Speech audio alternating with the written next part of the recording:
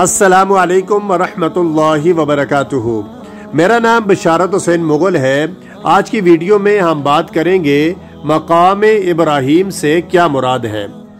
मकाम इब्राहिम से वो पत्थर मुराद है जिस पर खड़े होकर हज़रत इब्राहिम सलाम काबा की तामीर फरमाते थे।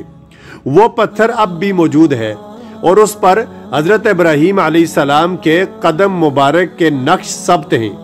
हजूर सल्लल्लाहु अलैहि वसल्लम ने तवाफ के बाद उस मकाम के करीब तवाफ की दो रकतें अदा की हैं। चुनाचे तवाफ करने वालों के लिए मुस्तहब है कि दूसरों को तकलीफ़ पहुँचाए बगैर मकाम इब्राहिम के करीब ही तवाफ की दो रकतें अदा करें।